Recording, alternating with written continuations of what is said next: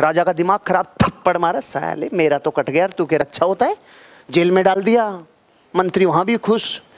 अब ये गया शिकार खेलने, आदिवासियों ने पकड़ लिया, सबकी बली, लेकिन राजा का शरीर खंडित, राजा को छोड़ दिया। राजा वहाँ से भागा, माफ़ी मांगा, मर गया, रे रे रे, तूने सही बोला था। इतनी सुन रखी है ना? क्लाइमेक्स तो बाकी है, क्लाइमेक्स बाकी है, अब सुनो।